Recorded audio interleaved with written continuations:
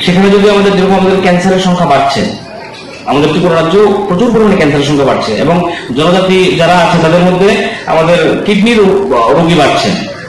তো আমি জানি না অথেন্টিকেশন কতটুকু বাট সুটকি বর্তমানে যেভাবে প্রসেস হয় ও সুটকি থেকে নাকি এই কিডনি রোগটা বাড়ছে।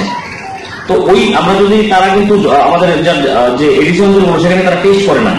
তো আমাদের কাজ কি, যদি যারা সাব সেন্টারে থাকে সিএইচও থাকে সিএইচও জন্য তাদের কাজ, বাড়ি বাড়ি গিয়ে ভিজিট করান, সেখানে গিয়ে টেস্ট করানো। তো আর্লি ডিটেকশন যদি হয়, তাহলে ট্রিটমেন্ট আমরা শুরু করে করাতে পারব। প্রত্যেকটা ব্লকে প্রত্যেকটা ব্লকে এবার এনএচএমের তরফ থেকে আমাদের সমস্ত টেস্ট ফ্রি করা যাবে। যে কোনো ব্লকে একটা সর্বোচ্চ যে হেলথ আমাদের যে যে হাসপাতাল আছে সিএসসি সিএসসি পিএসসি হলো পিএসসি সেখানে প্রায় সত্তর লক্ষ টাকা খরচ করে এনএচএম থেকে একটা স্কিমের নামটা ভুলে গেছি। তো সেখানে আউট পেশেন্ট ইন পেশেন্ট সমস্ত পেশেন্টদের টেস্ট সম্পূর্ণ বিনামূল্যে সেখানে করা হবে।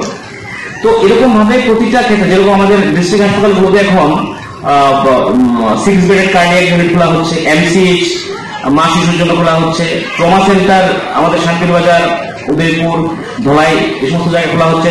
তো স্বাস্থ্য ব্যবস্থাকে তৃণমূল স্তরে ঢেলে সাজানোর চেষ্টা করা হচ্ছে।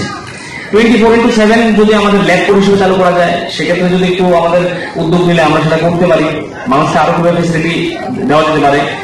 তো আয়ুষ্মান কার্ড আয়ুষ্মান কার্ড একটা মোদিজির একটা বিশাল বড় ওয়ার্ল্ডের মধ্যে সর্ববৃহৎ হেলথ পরিষেবা বলতে পারি।